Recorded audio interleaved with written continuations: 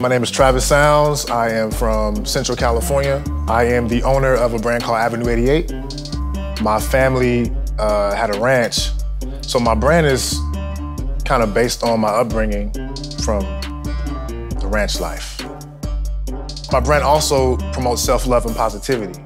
Um, so my message is you're perfect just the way you are.